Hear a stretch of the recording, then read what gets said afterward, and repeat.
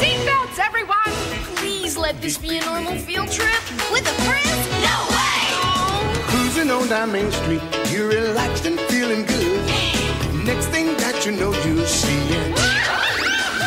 Octopus in the neighborhood, surfing on the sound wave, swinging through the stars. Take a left at Joey Teston, take your second right past Mars on the magic school bus.